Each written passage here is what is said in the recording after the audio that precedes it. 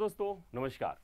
आज एक बहुत चर्चित मुद्दे के विषय में हम लोग चर्चा करने वाले हैं आज, जो इस समय थोड़ी सी सुर्खियाँ बटोर रहा है। वो चर्चा क्या है? जैसा कि यहाँ पे आप लोग पीछे पोस्टर में देख रहे हैं कि पाकिस्तान और अमेरिका के मध्य सुरक्षा समझौते को मंजूरी मिली है। जैसा कि हम लोग जानते हैं कि पाकिस्तान हमारा एक पड़ोसी देश है, ठीक है? लेकिन हमारे पड़ोसी के साथ हमारे जो संबंध है, वो जग ज़ाहिर है।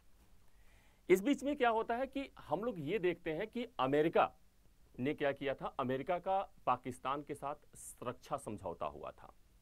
लेकिन 2020 में यह रक्षा समझौता कंप्लीट हो गया था। अब उस रक्षा समझौते के कंप्लीट होने के बाद कुछ समय तक अमेरिका और पाकिस्तान के रक्षा समझौते नहीं हुए। जो कहीं ना कहीं एक तरह से भारत के लिए अच्छे संकेत दे रहा था, लेकिन अचानक एक घटना घटी है। हालाँकि अभी इसकी कोई आधिकारिक तौर पे पूरी तरह से सूचना तो नहीं दी गई है, लेकिन बात फैक्ट है और ये सही है कि पाकिस्तान और अमेरिका के मध्य सुरक्षा समझौते को मंजूरी दे दी गई है। पाकिस्तानी कैबिनेट में इसने अपनी मुहर लगा दी है। अब इस रक्षा समझौते की बात करें तो एक जो समझौता होता है ये इसे हम लोग क्या कहते हैं? इसे हम लोग कहते हैं सी आई एस एम ओ ए समझौता के नाम से जाना जाता है। क्या होता है ये समझौता? इसके संदर्भ में थोड़ा सा आप लोग को बताता हूँ। यह एक आधारभूत समझौता है जो अमेरिका अपने उन सहयोगी राष्ट्र या देशों के साथ करता है, जिनके साथ वह अच्छे और बेहतर रक्षा संबंध रखता है। यानी कहीं ना कहीं यह रक्षा संबंधों को लेकर किया गया समझौता है।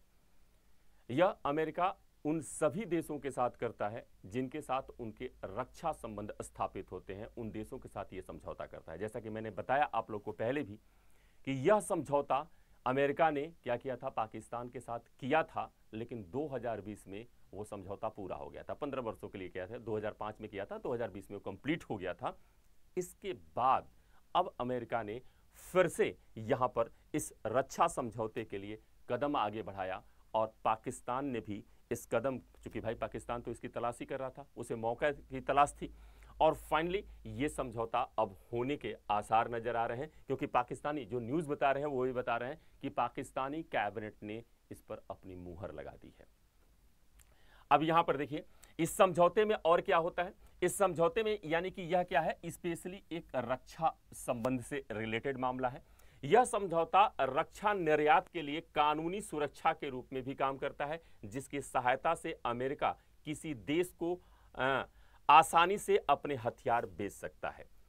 यहाँ पर क्या था जब तक ये रक्षा समझौता समझौता नहीं हुआ था तब तक क्या था अमेरिका से पाकिस्तान उसके जो आ, आप कह लें कि हथियार होते थे गोला बारूद इत्यादि या कोई भी वेपन्स इस प्रकार का उनकी डील नहीं कर सकता था अमेरिका के साथ, पाकिस्तान ना ही उनसे खरीद सकता था।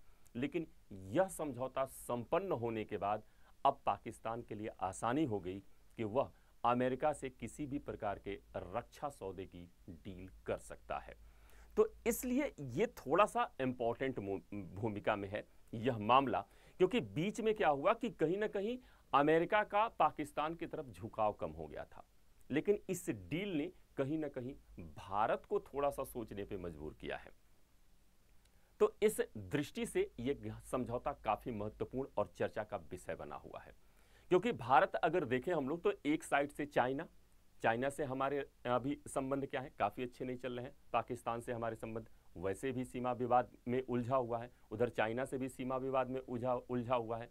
और ऐसी दशा में अमेरिका का पाकिस्तान के साथ ये समझौता होना कहीं ना कहीं भारत के लिए खतरे की घंटी तो नहीं कह सकते, लेकिन कहीं ना कहीं एक सोचने का ज़रूर यहाँ पर आलम बन जाता है। ये ध्यान रखेंगे।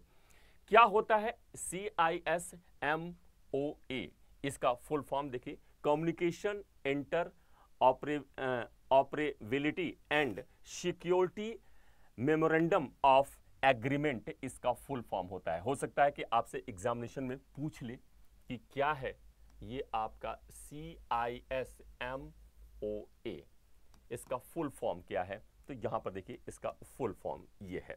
यानी स्पेशली ये रक्षा सौदों से संबंधित, रक्षा समझौते से संबंधित ये आपका समझौता है। अब देखिए इस समझौते के महत्वपूर्ण बिंदु की अगर हम लोग बात करें तो इसमें आप लोग यहाँ पर देखें, दोनों देशों के मध्य संयुक्त सैन्य अभ्यास, यानी इस समझौते के बाद पाकिस्तान और अमेरिका क्या कर सकते हैं? संयुक्त सैन्य अभ्यास यहाँ पे कर सकते हैं। ट्रेनिंग एक दूसरे को ट्रेनिंग, ठीक है? यहाँ पर दी जा सकती है। हथियार खरीदना, एक दूसरे से हथियार खरीदना, ठीक है, का रास्ता साफ़ हो जाता है। ठीक है? तो यहाँ पर यानी कि एक तरह से कह लें कि अब पाकिस्तान को क्या हुआ? अमेरिका से अब रक्षा डील करने का यहाँ पे क्लीन चीट मिल गया। दूसरा चीज़ क्या है? पाकिस्तानी सेना अमेरिकी कंपनियों द्वारा बनाए गए हथियार का इस्तेमाल कर सकती है। यानी कि अब पाकिस्तान को अभी तक क्या था? 2020 में समझौता समाप्त होने के बाद पाकिस्तान अमेरिका से किसी भी प्रकार के वेपन से रिलेटेड कोई डील नहीं कर सकता था। लेकिन अब क्या हुआ? अब यहाँ पर पाकिस्तान को राइट मिल जाएगा कि वो अमेरिका के साथ या अमेरिकी किसी भी कंपनी के साथ किसी भी रक्षा सौदे को अंजाम दे दे सकता है। तो यहाँ पर इसे रक्षा संबंधों से संबंधित यहाँ पर छूट मिल गई। ठीक है? साथ साथ में पाकिस्तानी सेना को फिर से अमेरिकी हथियारों की डील करने का अधिकार प्राप्त हो गया। यानी अब पाकिस्तानी सेना क्या कर सकती है? किसी भी अमेरिकी वेपन्स कंपनी से, हथियारों की कंपनी से क्या कर सकती है? डील स्थापित कर सकती है। ठीक है? तो ये न्यूज़ इस समय काफ़ी चर्चा में है बच्चे तो यहाँ पर ये काफ़ी इंपॉर्टेंट रहेगा, ठीक है? और कहीं ना कहीं ये आईआर के तहत भी आपके लिए क्या हो सकता है? इंपॉर्टेंट हो सकता है, ठीक है?